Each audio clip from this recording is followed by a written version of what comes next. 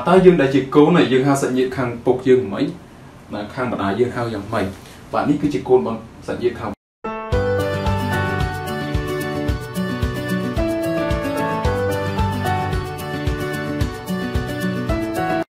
បាទជំរាបសួរជួបគ្នាជាមួយវីដេអូថ្មីបាទវីដេអូនេះយើងនឹងសិក្សាអំពីបាទពាក្យហៅសមាជិកគ្រួសារនៅក្នុងភាសាកូរ៉េបាទតើនៅក្នុងភាសាកូរ៉េគេហៅសមាជិកគ្រួសារហៅបែបណាបាទឥឡូវយើងទៅសិក្សាគ្នាបាទ បាទខាជុកហូឈីងបាទខាជុកហូឈីងបើពាក្យថាខាជុកយើងបានរៀនពីវីដេអូមុនបងប្រាប់ថាក្រុមគ្រួសារពាក្យថាហូឈីងមានន័យថាជាភាសាហៅបាទអញ្ចឹងភាសាហៅហៅគ្រួសារតែគេហៅមិនបាទឥឡូវយើងមើលរូបទាំងអស់គ្នាបាទចឹងរូបនៅចំកណ្ដាលគឺតំណាងឲ្យប៉ាម៉ាក់របស់យើងបាទអញ្ចឹងប៉ានៅក្នុងភាសាកូរ៉េយើងថាម៉េចបាទមានបាទគឺអាប៉ាបាទប៉ាឬក៏អាបូជីបាទមួយណាក៏បានដែរបាទ ទៅតាមគ្រួសារគ្រួសារខ្លះគាត់និយមហៅអាប៉ាគ្រួសារខ្លះហៅអាបូជីដល់ពាក្យថាអាបូជីហ្នឹងវារឿងគួរសមជាងអាប៉ាអញ្ចឹងណាប៉ាវាស្និទ្ធស្នាលជាងបាទជាទូទៅនៅក្នុងអឺ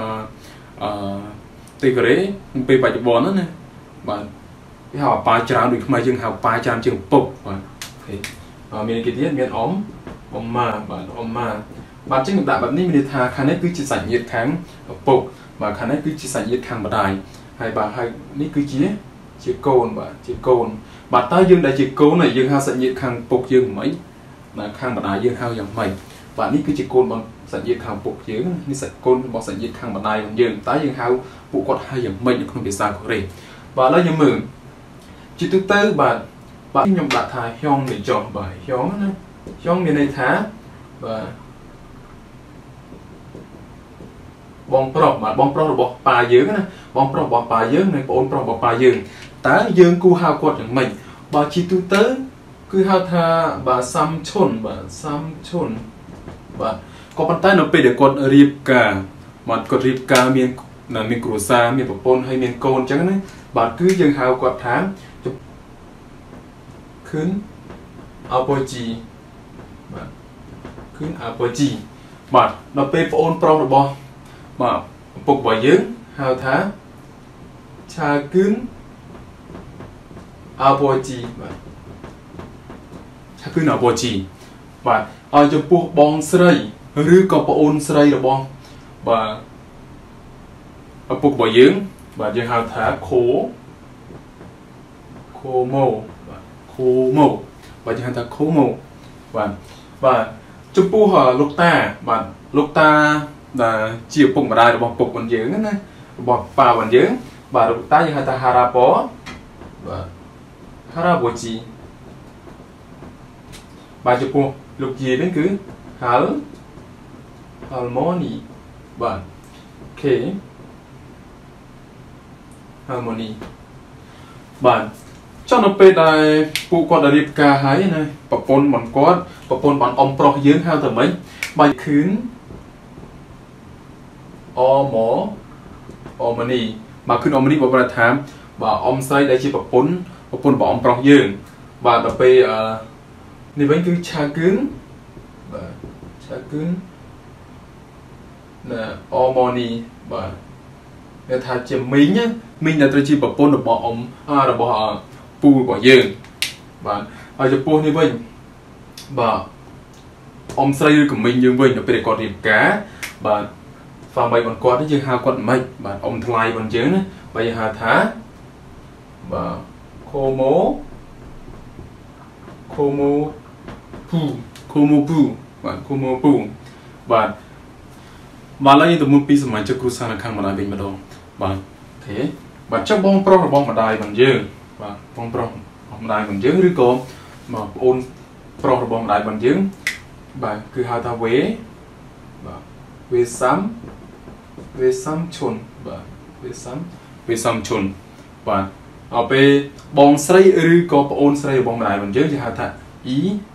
បាទអ៊ីម៉ូបាទអ៊ីម៉ូបាទហើយចំពោះអលោកតានៅក្នុងនៅខាងម្ដាយរបស់យើងគេហៅថាវេវេហារ៉ាបូជីខុសគ្នាបន្តិចនោះខាងខាងនោះតែហារ៉ាបូជីខាងនេះវេវេហារ៉ាបូជីបាទវេហារ៉ាបូជីអត់ដល់ពេលលោកយីខាងម្ដាយរបស់យើងវេហាល់ម៉ូនីបាទវេហាល់ម៉ូនី បាទហើយនៅពេលដែលបាទអ៊ំបាទអ៊ំប្រុសរបស់យើងខាងម្ដាយរបស់យើងឬក៏ពូខាងម្ដាយរបស់យើងគាត់រៀបការអញ្ចឹងប្រពន្ធរបស់គាត់យើងហៅថាម៉េចបាទហៅថាវេបាទវេសុងម៉ូបាទវេសុងម៉ូបាទហើយបាទចំពោះដល់អ៊ំស្រីឬក៏មីងខាងម្ដាយរបស់យើងនៅពេលគាត់រៀបការអញ្ចឹងបាទអ៊ំថ្លៃរបស់យើងឬក៏ពូថ្លៃរបស់យើង បាទហៅថាអ៊ីម៉ូអ៊ីម៉ូប៊ូអ៊ីម៉ូប៊ូអ៊ីម៉ូប៊ូបាទហើយចំពោះកូនរបស់គាត់គាត់ថាត្រូវជាបងប្អូនជីដូនមួយរបស់យើងបាទអញ្ចឹងនៅក្នុងភាសាកូរ៉េហៅថាសាសាឈុនបាទសាឈុនបាទខ្លះដូចគ្នាជាងសាសាឈុនដូចគ្នាសាឈុនបាទចុះពួកយើងវិញដែលយើងជាបងប្អូនបង្កើតនឹងគ្នាបាទ ចាពាក្យថាបងប្អូនបង្កើតនៅក្នុងភាសាកូរ៉េគឺបែរជាច្រើនបាទឥឡូវយើងទៅមើលពាក្យបាទសម្រាប់អឺហៅបងប្អូននៅក្នុងគ្រួសារណាដូចជាខ្ញុំអញ្ចឹងខ្ញុំជាមនុស្សប្រុសអញ្ចឹងខ្ញុំហៅបងប្រុសខ្ញុំហៅយ៉ាងម៉េចហៅបងស្រីហៅយ៉ាងម៉េចហៅប្អូនហៅយ៉ាងម៉េចហើយណាហើយប្អូនស្រីរបស់ខ្ញុំប្អូនអឺណាប្អូនស្រីរបស់ខ្ញុំបងប្អូនប្រុសរបស់ខ្ញុំហើយបងប្រុសបងស្រីរបស់ខ្ញុំហៅខ្ញុំហៅម៉េចហៅបងប្អូនគាត់ហៅយ៉ាងម៉េចបាទយើងទៅមើលទាំងអស់គ្នាបាទអូខេ ចឹងប្រសិនបើជាមនុស្សប្រុសនៅក្នុងគ្រួសារប្រសិនជាមនុស្សប្រុសនេះជាបងប្រុសរបស់គាត់នេះជាបងស្រីរបស់គាត់នេះប្អូនប្រុសរបស់គាត់នេះជាប្អូនស្រីរបស់គាត់បាទអញ្ចឹងតើយើងជាប្រុសនេះយើងហៅបងប្រុសយើងភាសាកូរ៉េហៅយ៉ាងម៉េចបាទគឺហៅថាហុងមើលហុងអូខេហើយបើសិនយើងជាប្រុសហើយយើងហៅបងស្រីយើងហៅយ៉ាងម៉េចបាទយើងហៅថានូឌូណាឌូណាបាទហើយយើងហៅបងប្រុសយ៉ាងម៉េចបាទហៅបងប្រុសហៅថាណាំ ធុងណាំធុងសេងបាទណាំធុងសេងបាទណាំធុងសេងបាទជាទូទៅនៅពេលដែលយើងហៅផ្ទាល់គឺអាចហៅឈ្មោះទៅប្អូនយើងមិនចាំបាច់ហៅណាំធុងសេងហៅទៅប្អូនបានហើយបាទក៏ប៉ុន្តែបើយើងមើលទៅពីខ្សែស្រឡាយសាច់ញាតិណាត្រូវជាត្រូវជាប្អូនប្រុសអញ្ចឹងទៅបាទចំពោះប្អូនស្រីវិញហៅគេយោយោធុងសេងបាទយោធុងសេងបាទហៅបែបហ្នឹងបាទឥឡូវយើងមើលវិញបើសិនបើយើងជាស្រី បាទតែយើងហៅបងប្រុសហៅយ៉ាងម៉េចនៅក្នុងគ្រួសារបាទបើសិនបើគាត់ជាស្រីគាត់ហៅបងប្រុសគាត់ហៅថាអូបាទអូប៉ាបាទអូប៉ាបាទហៅថាអូប៉ាបាទហើយបើសិនជាគាត់ជាស្រីហើយក៏ហៅបងស្រីគាត់ហៅថាអនអននីបាទអននីបងស្រី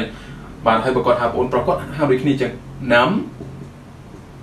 ធុងសេងបាទអើបងស្រីគឺយ៉ដុងយ៉ដុង សេងបាទហើយបើសិនជាគាត់ណាជាបងប្អូនប្រុសស្រីនឹងគ្នាហៅគេមិញណាមេបាទហៅណាំណាមេបាទអូខេណាំណាមេបាទដល់ពេលប្រុសនិងប្រុសហៅគេខ្ញុំខ្ញុំជីបាទហើយដល់ពេលស្រីនិងស្រីបាទបាទស្រីស្រីថាម៉េចបាទឆាឆាមេ បាទនេះគឺជាពាក្យសម្រាប់ហៅបាទបងប្អូនបង្កើតហើយនឹងហៅបាទហៅទៅតាមសាច់សាច់ញាតិណាហៅទៅតាមខ្សែអូខេបាទចំពោះវីដេអូនេះគឺមានតែប៉ុណ្្នឹងបាទនិយាយអំពីបាទការហៅបាទសមាជិកគ្រួសារតាមរយៈខ្សែស្រឡាយនៅក្នុងបាទគ្រួសារបាទមានអំពូមីមីងបាទលោកតាលោកជ័យណាបងប្អូនប្រុសបងប្អូនស្រីបងប្អូនបង្កើតហើយបងប្អូនជីដូនមួយអញ្ចឹងបាទឥឡូវអឺវីដេអូនេះគឺមាន បាទសម្រាប់វីដេអូនេះគឺមានតែប៉ុណ្្នឹងឯងបាទអញ្ចឹងនៅវីដេអូបន្ទាប់យើងនឹងសិក្សាអំពីខ្សែស្រឡាយវិញម្ដងបាទអូខេអរគុណច្រើនចំពោះការតាមដានទស្សនាបាទសូមអរគុណសម្រាប់ការទស្សនាវីដេអូសូមធ្វើការចុចពាក្យថា Subscribe ទៅលើ Channel មួយនេះបន្ទាប់មកសូមចុចទៅលើរូបកណ្ដឹងដើម្បីទទួលបានវីដេអូថ្មីៗពាក់ព័ន្ធទៅនឹងការរៀនភាសាកូរ៉េសូមអរគុណ